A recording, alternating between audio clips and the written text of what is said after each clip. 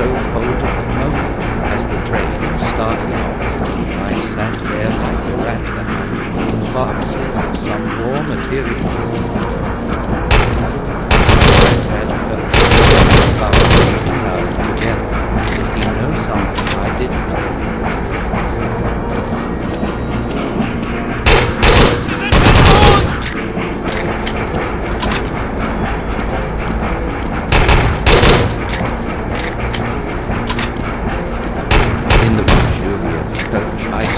Folder in desk. Its contents proved to be speaking about a secret weapon, a rocket-shaped thing. But I couldn't understand everything. I wished Fred was there to help me.